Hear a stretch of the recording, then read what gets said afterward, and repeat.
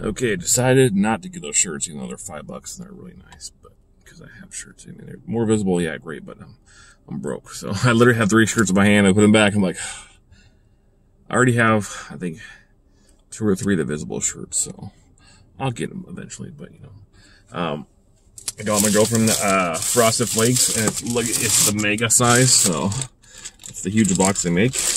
And then I wanted to try these ones anyway, because they're better for you, the Kashi brand. The Cementos are, whatever, the Wheaties are good, but like, it all washes off in like three seconds, and there's not much on there. But if these are better for you and they're organic, and there's 52 grams of whole grain, if these are healthy for you, I'll get these. So, got that, and then only one thing I really bought, it's basically for camping, is these things are cool. Um, looks well made. Um, I see the reviews are good and bad, but this is a great brand, and it's either get it now or they won't have it, or get some other brand on Amazon, or do all that crap. Like, no, I'll just get it while I'm here. Basically, you stick it on those green propane things. You can adjust the knob, how much flame you want. That way, it's easier to light a fire pit or whatever you want to light. It's easy to do. Just screw it on the green propane things. And those things like two for ten bucks. And I have like four in my garage, so this is nice. I have uh, flame, like fire pit starter things, you know, that are easier too. But this in general will just light the fire pit like easily. And I also have matches, but it's I kind of keep those in my first aid kit just to need it for some reason. But this is kind of handy. It looks pretty well made. Everything is uh, durable stainless steel.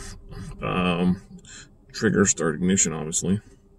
Adjustable flame knob. Um, so I don't know has a three year warranty on it, and it's made in Columbus, Ohio. So, because every time we go camping, we have trouble starting the fire because it's a pain. You guys there hope your matches work, or I use those like dollar store lighters because they're they're cheap. They're like a dollar. I mean, it would cost you more to refuel those things than buy new ones, but they're crap. You get this little tiny flame, and I always bring them with me camping, but they're pain. So this one, I'm just gonna on the damn propane thing and be done with it. So the fire goes out, we light it again. So that's my Walmart adventures today.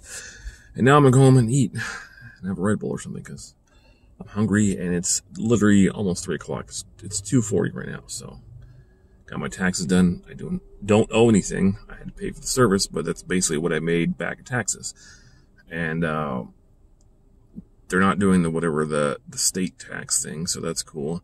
And then unemployment, there was a little box you check to take out for taxes, and I did that. So I didn't know about that first, but after a while I noticed it.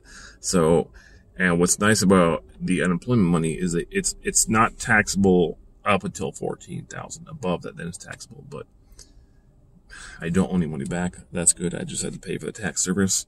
Um, I'm not getting anything back basically because what I'm getting back is what it costs to do my taxes. So I'm zeroed out, but I don't owe anything. So that's always a good sign. So I'm gonna go home and probably eat, reheat the rest of my pasta, although it's quite hot. I don't know if I want that, so.